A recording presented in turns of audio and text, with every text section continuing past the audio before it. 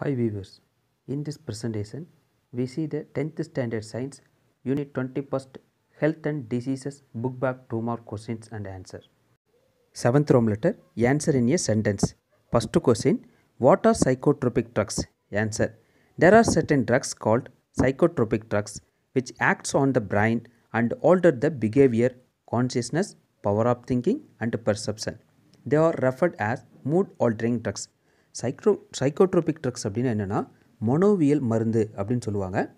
அதாவது அந்த எந்த மருந்து வந்து நம்ம மூளையின் மீது செயல்பட்டு அவற்றின் செயல்பாடுகளான நடத்தை அதாவது பிஹேவியர் கான்சியஸ்னஸ் அப்புறம் பார்த்திங்கன்னா நம்மளுடைய பவர் ஆஃப் திங்கிங் சிந்திக்கும் திறன் அறிநிலை பர்செப்ஷன் அதாவது ஒரு நிலையை வந்து அறிந்து கொள்ளக்கூடிய இந்த திறனை வந்து மாற்றி அமைக்கிறது. அதனால தான் பார்த்திங்கன்னா இந்த சைக்கோட்ரோபிக் ட்ரக்ஸை மனநிலை மாற்றும் மருந்துகள் மூட் ஆல்ட்ரிங் ட்ரக்ஸ் அப்படின்னு சொல்கிறாங்க second question mention the diseases caused by tobacco smoke lung cancer நுரையீரல் புற்றுநோய் பிராஞ்சிட்டிஸ் மூச்சுக்குழல் அலர்ஜி பல்மனரி டியூபர்குலோசிஸ் நுரையீரல் காசநோய் emphysema emphysema means inflammation of lung alveoli decreases surface area for gas exchange அதாவது நுரையீரலில் இருக்கக்கூடிய அந்த அல்வியோலை சேம்பரில் வந்து வீக்கம் ஏற்பட்டு அந்த வாயு பரிமாற்றத்துக்கான மேற்பரப்பு வந்து குறைக்கிறது. அதனால் ஏற்படக்கூடிய ஒரு நோய் தான் emphysema. Then hypoxia hypoxia means carbon monoxide of tobacco smoke bind to haemoglobin of RBC and decreases its oxygen carrying capacity in body tissues அதாவது புகைப்பிடித்தலின் போது டொபாக்கோ ஸ்மோக்லேருந்து வெளியில் வரக்கூடிய கார்பன் மோனாக்சைடு நம்ம ஆர்பிசியில் இருக்கக்கூடிய ஹீமோகுளோபினுடைய பிணைப்பை ஏற்படுத்தி அதன் ஆக்சிஜன் எடுத்து செல்லும் திறனை வந்து குறைக்கிறது. இதனால் உடல் திசுக்களில் ஏற்படும் அந்த ஆக்சிஜன் குறைபாட்டுக்கு தான் என்ன சொல்கிறாங்கன்னா ஹைபாக்சியா அப்படிங்கிறாங்க. Then oral cancer also known as mouth cancer third question what are the contributing factors for obesity obesity means accumulation of excess body fat with an abnormal increase in body weight அதாவது நம்ம உடலில் வந்து அதிகமான கொழுப்பு சேர்றதுனால நம்மளோட எடை வந்து அதிகரிக்கிறது தான் உடல் பருமன் அப்படிங்கிறாங்க.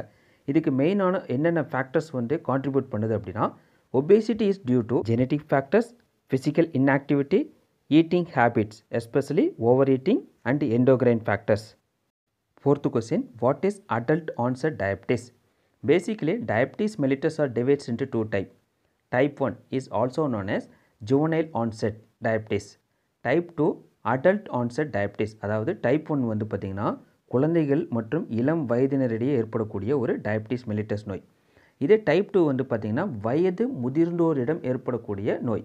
இப்போ அடல்ட் ஆன்சர் டயபிட்டிஸ் அப்படிங்கிறது வயது முதிர்ந்தோருக்கான நீரிழிவு நோய். So type two non insulin depend diabetes mellitus is also called as adult onset diabetes insulin production by the pancreas is normal but its action is impaired so the target cells do not response to insulin pancreas வந்து சரியான அளவு insulin சுரந்தாலும் அதனுடைய செயல்பாடு வந்து சரியாக இருக்கிறதில்ல. குறைபாடு இருக்கிறதுனால அந்த பர்டிகுலர் செல்ஸ் வந்து பார்த்திங்கன்னா இன்சுலினுக்கு ரெஸ்பான்ஸ் பண்ணுறதில்ல அதனால் டயபிட்டிஸ் வருது. Fifth question what is metastasis answers the cancerous cells migrate to distant parts of the body and affect new tissues this process is called metastasis அதாவது இந்த புற்று செல்கள் வந்து உடலினுடைய தொலைவில் உள்ள பாகங்களுக்கும் இடம்பெயர்ந்து புதிய செல்களையும் அளிக்கிறது அந்த ப்ராசஸ்க்கு தான் என்ன சொல்கிறாங்கன்னா மெட்டாஸ்டாசிஸ் அப்படிங்கிறாங்க. Sixth question how does insulin deficiency occur answer the insulin deficiency is caused by the destruction of beta cells of the pancreas அதாவது பேன்க்ரியாஸில் உள்ள பீட்டா செல்கள் அழிவதனால போதுமான அளவு இன்சுலின் வந்து நம்ம பாடியில் சுரக்காது போயிடுது ஸோ இன்சுலின் சுர போதுமான அளவு சுரக்காதனால ரத்தத்தில் வந்து குளுக்கோஸினுடைய அளவு அதிகரிக்கிறது. இதனால் ஏற்படக்கூடிய நோய் தான் diabetes mellitus Thank you for watching my video.